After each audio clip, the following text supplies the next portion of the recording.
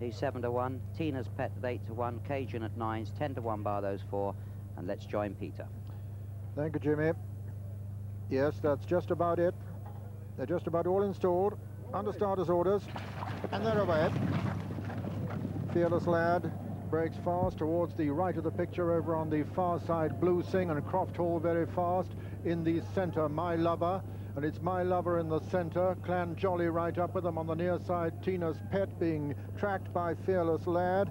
They're coming down past the three furlong pole, and it's My Lover in the lead in the centre from Clan Jolly. Steel Charger running fast, Tina's Pet right there under the stands rail with probably the, the, the, advantage now. Probably Tina's Pet in the lead on the stand side as they come down to the two furlong pole from Steel Charger right over on the far side Croft Hall with Blue Singh and Cajun but it's Tina's Pet and Joe Mercer in the lead from Fearless Lad trying to challenge now on the stand side with Steel Charger also and racing into the closing stages now. And it's Tina's Pet being pressed by Fearless Lad Edward Hide coming there very strongly on the near side and Fearless Lad in fact coming to take it up now as they race towards the line Fearless Lad's going to win it well and at the line, Fearless Lad wins in second. Is Chellaston Park third, Blue Singh and 14 Pet behind them.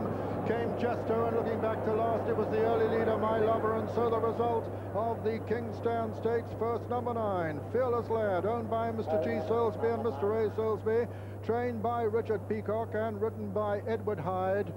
And uh, for me, number 16, Chellaston Park is second, though the judge has called upon a photo to determine second, third and fourth places. I think we'll find Chellaston Park for second, Blue Singh third, Tina's Pet four. It's very near between Blue Singh and Tina's Pet for third and fourth, but no doubt whatsoever that Fearless Lad by import, who himself won the 1976 Wokingham under nine stone four, nine stone four, has won the King's Stand very easily indeed. They're getting a grateful pat from Edward Hide, who won this in 1976 on Loch Lochnagar.